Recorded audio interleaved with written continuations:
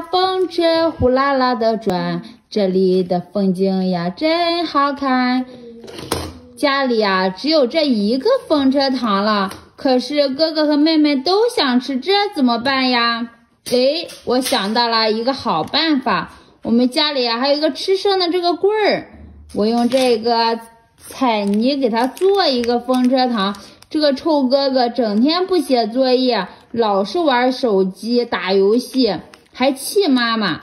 我给他做一个假的，我们一起来整一整他。我给这个哥哥啊做了一个大的风车糖，他肯定会喜欢的。给他安上。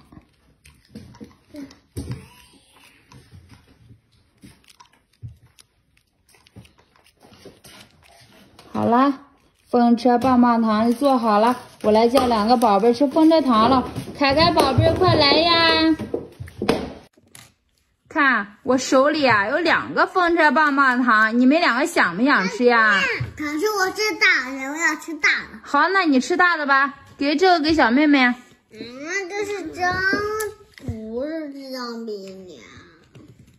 叫你不听话，叫你每天气妈妈，还写不写作业了？写作业了。写作业和妹妹一起分一起分享这个风车棒棒糖吧。嗯，这个这么好看，我都想要了。